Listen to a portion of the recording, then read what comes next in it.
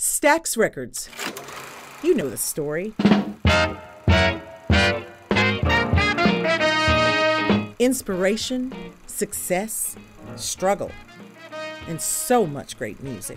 A uniquely Memphis story of an epic rise and an excruciating fall, and why it had to be resurrected. A piece of Memphis's music history may soon be brought back to life. We're talking about the sound of Stax Records. Mayor Willie Herenton is proposing a Stax Museum, a music academy, some shops. For 20 years, the Stax Museum has strutted its soulful stuff, both as an international tourist destination and a community focused museum.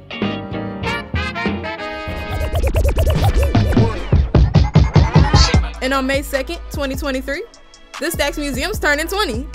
And part of our year long celebration includes a Stax Museum Soulmobile to take our sound around the country,